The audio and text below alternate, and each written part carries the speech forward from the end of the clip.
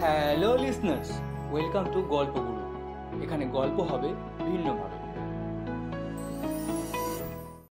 আজ একটি ছোট্ট কবিতা পাঠ করে শোনাবো।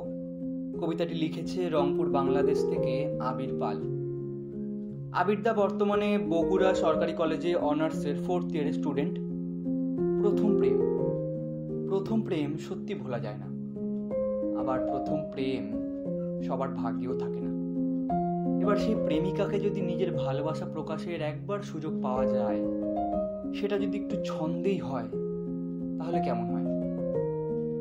সেরকমই একটি কবিতা আবির লিখেছে আশা করছি কবিতাটি সকলের ভালো লাগবে।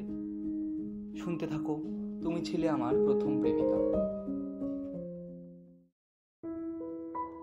যে ব্যথাটা বুকের মধ্যে, তার কি কোনো মলম আছে? দুঃখ ছাড়া প্রেম লেখা যায় এমন কোনো কলম আছে?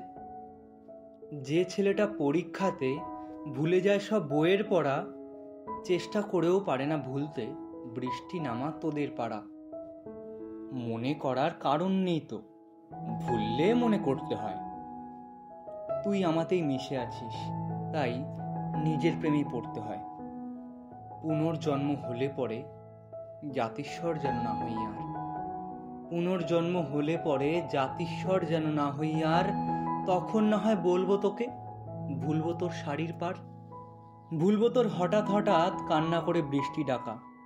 ভুলবো তোর স্কুলের গেটে আমার ওই দাঁড়িয়ে থাকা। এই পৃথিবীতে সবাই সুখী, নাকি শুধু অভিনয়?